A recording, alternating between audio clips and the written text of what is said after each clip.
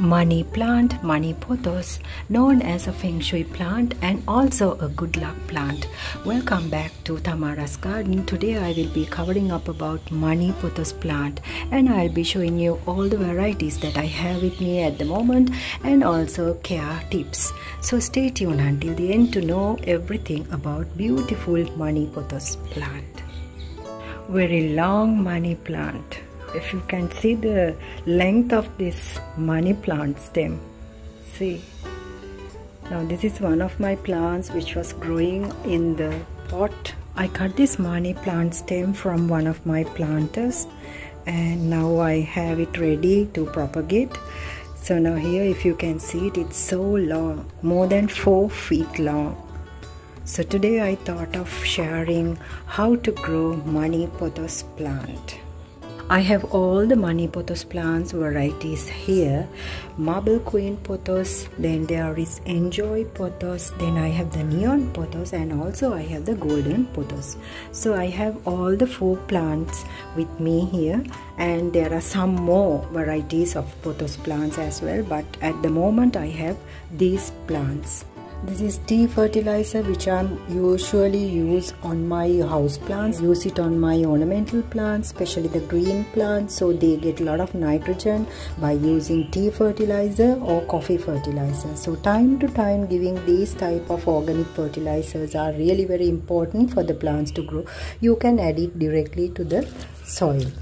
Whenever you drink tea or coffee, you can add the powder form, dry it out in the sun and add it so by adding tea or coffee fertilizer, they are high in nitrogen.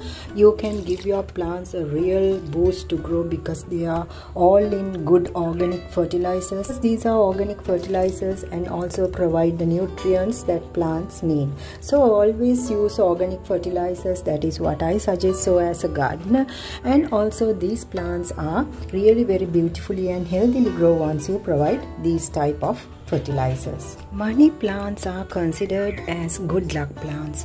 When you keep money plants in your home, they bring good vibes to your home, prosperity, abundance, and also wealth.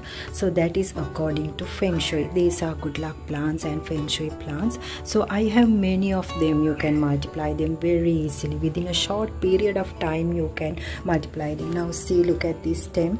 You can cut these from the node area and make free plants very easily. Propagate them in water either in soil and you can give them or else you can keep them in your garden because these are very easy way to propagate and make free plants Money plants are beginner gardeners plants and also one of the decorative plants. You can keep them in the partial to medium sunlight if you are keeping them in the garden outdoors or else if you can keep them indoors near a windowsill you will see how beautifully these plants will grow. Now look at this color of the foliage of this beautiful marble queen pothos. Now this plant will grow really very beautifully if you keep it near a windowsill because these plants are low maintenance and also if you keep them near a shady corner even in a dark corner these plants will grow because there will be no problem these plants are permanent and hardy plants and also these plants are really very hard to kill plants unless you overwater these plants. Because if you keep them indoors you don't need to regular water. You can skip regular water. You can check the soil and water them according to the depending on the country weather. And also these plants if you go to overwater that will lead to root rot. But if you keep them indoors you can skip regular watering check the soil and water them. And also these plants are very full and elegant looking if you keep them near a windowsill for them to receive some sunlight. So that is also you'll have to consider. So now look at this plant. Now this is growing in a ceramic planter. This is a DIY planter and also these are plastic planters. These fit into any size of planter. You can make any DIY pot or else clay pots and plastic pots are ideal. Medium to small planters will be perfect for these money pothos plants. This is a golden pothos stem so now I'm going to show you how I'm going to propagate it from cutting it from the node area. So for you to propagate it in water you have to find the node areas and put them separately in water. These are the node areas and these are the leaves. Here we have cut them into separate separate plants. So now this small leaf you can put in water and propagate. So one by one we can put it in water or together plant is a plant you can propagate with a single leaf but the node area should be there. So now you can simply insert in water take a clean water jar and separately you can put them in water. So this is a very easy method where you can propagate and make free plants. So likewise the whole stem you can put in water.